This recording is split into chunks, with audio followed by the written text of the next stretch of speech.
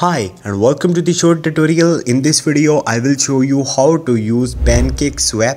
So uh, this is the uh, decentralized exchange. So how you can use it? First of all you have to open your trust wallet or any wallet you are using. Go to the tabs dapps and uh, on the top you have to search for the pancake swap.finance make sure you are using the uh, right uh, query once you will do it on the uh, right top you have to uh, change your uh, network like bnb smart chain. Once you will do it uh, here you will see the exchange. Simply you have bnb or other currency uh, and if you want to uh, purchase other currency from here simply uh, write bnb here or other currency uh, which is available in your uh, wallet. And then from here you have to select the coin in which uh, coin or token in which you want to convert that currency. Once you will select it uh, you can simply uh, click here to exchange it.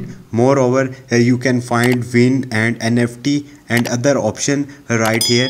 Um, you can also stake cake coin uh, cake token to get reward from it. Many features are available uh, right here. So this is just an overview to use the pancake swap hope this video will helpful for you. If you have any question you can ask me in the comment section. And don't forget to subscribe my channel. Think